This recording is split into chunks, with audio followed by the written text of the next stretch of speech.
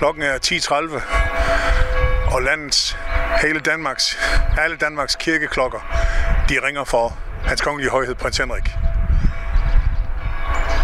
Prins Henrik er afgået ved døden, og bliver i dag bisat.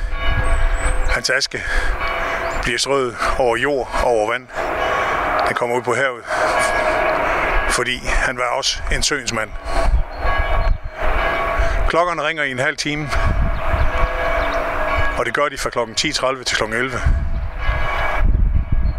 I Grosten, der er der fyldt med blomster. Grosten var et af de steder i Sønderjylland, hvor kongefamilien opholdt sig hver eneste sommer. Og her blev inviteret til pressefotografering af den kongelige familie hver eneste sommer. Også her var prinsen meget elsket, og han var et syn i bybilledet, når den kongelige familie var på slottet. Det var også her, han fik serveret friske østers fra Vadehavet, fra Rømø, og i det hele taget Sønderjylland. Den kongelige familie har bibeholdt traditionen om at holde sommerferie på Gråsten Slot, og man kan da kun håbe, at det fortsætter. Dag tager vi alle sammen afsked med prins Henrik.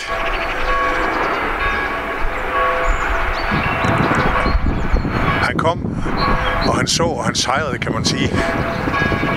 Fordi mange pressemøder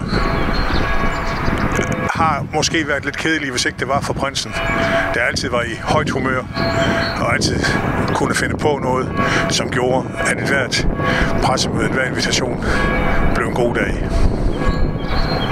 Æret være hans kongelige højhed, prins Henrik.